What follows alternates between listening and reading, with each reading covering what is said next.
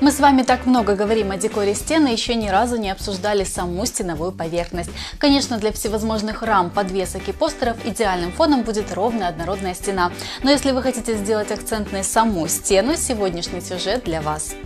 Первым делом обратите свое внимание на разного рода оттиски, например, вот такие треугольники. Вы можете отпечатать их в каком угодно порядке, составить из них орнамент или цепочку повторяющихся мотивов. Саму печать удобно делать из деревянной основы и мягкой ткани или поролона. Окунайте, промакивайте и отпечатывайте, отпустите свою фантазию в полет. Как вариант используйте коробочный картон. Вырежьте квадрат основы и наклейте на него картонную же форму оттиска. Вот такие мандарины, которые в свое время были и в моей столовой зоне, результат применения именно этой техники.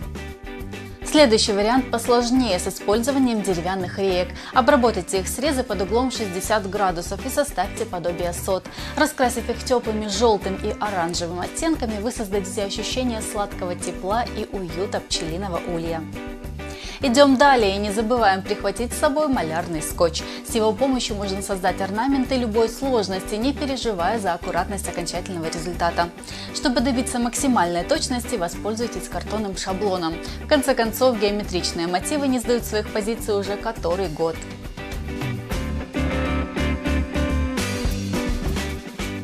Вариант для смелых – начертить их вручную. Здесь вам наверняка пригодятся уровень, транспортир, треугольник и немалая доля терпения. Соблюдайте максимальную точность расчетов и чертежей, и результат вас непременно порадует. А при сочетании двух техник, ручных линий и оттисков, вам удастся сотворить вот такой ненавязчивый филиал звездного неба прямо у себя в ванной комнате.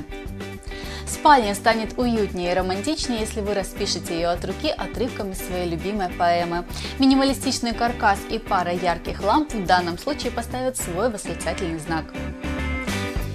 Чтобы вдохнуть жизнь в гостиную комнату, достаточно сделать пару небрежных мазков неяркого цвета. Это придаст стене акцентности, но в то же время позволит ей остаться фоновой для разного рода арт-объектов.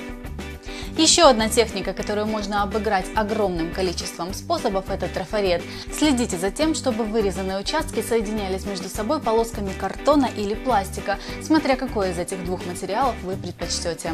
А обводить трафарет или полностью заполнять его цветом решать вам. В обоих случаях результат будет впечатляющим. Самая простая, но в то же время требующая отменного вкуса техника амбре. Главная задача правильно подобрать между собой оттенки. Выбрав два конечных цвета, смешивайте их между собой в разных пропорциях и наносите на стену в определенном порядке.